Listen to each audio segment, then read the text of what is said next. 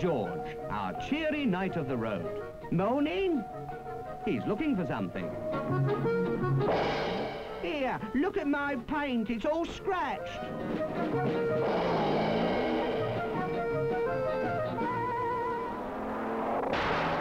Now look what's happened. No door. Perhaps you'll be more careful now and look before acting impulsively. Remember, use your head.